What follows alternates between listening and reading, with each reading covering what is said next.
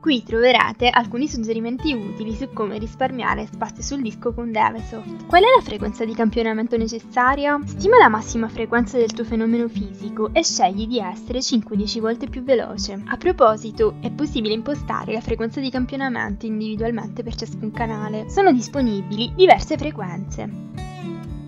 I canali di temperatura, ad esempio, possono essere memorizzati lentamente. Dal display recorder si vedono le diverse frequenze di campionamento. Inoltre, quando si ha a che fare con misura a lungo termine, è possibile memorizzare solo quando necessario utilizzando trigger temporali, ad esempio ogni ora per un solo minuto.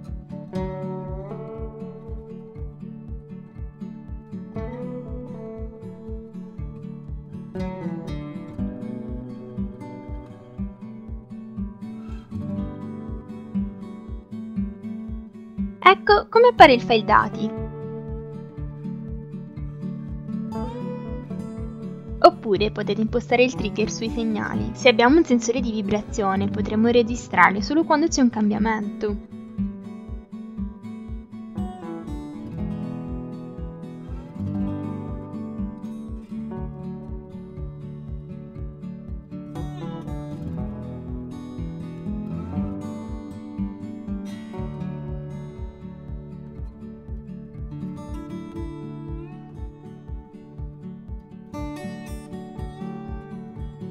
Per gli esperti c'è la possibilità di non memorizzare i canali, ma continuare ad usarli nelle matematiche, nei filtri, eccetera.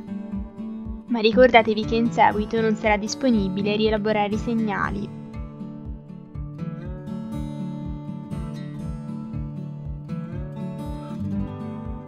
Fondamentalmente vi consigliamo di archiviare sempre i dati grezzi. I dati video di solito occupano la maggior parte dello spazio sul disco, Avete settato la compressione online offline nelle impostazioni?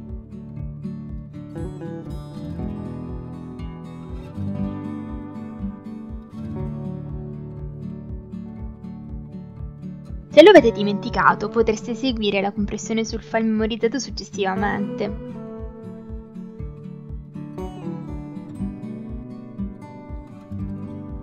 Il video originale di grandi dimensioni può quindi essere eliminato. Vi consigliamo di utilizzare una webcam con compressione JPEG integrata.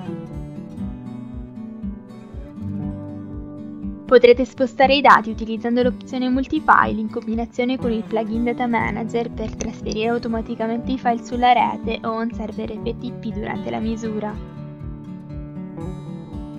Ci auguriamo che questo video vi sia stato utile e vi invitiamo a guardare gli altri tutorial sul nostro canale Devesoft Italia.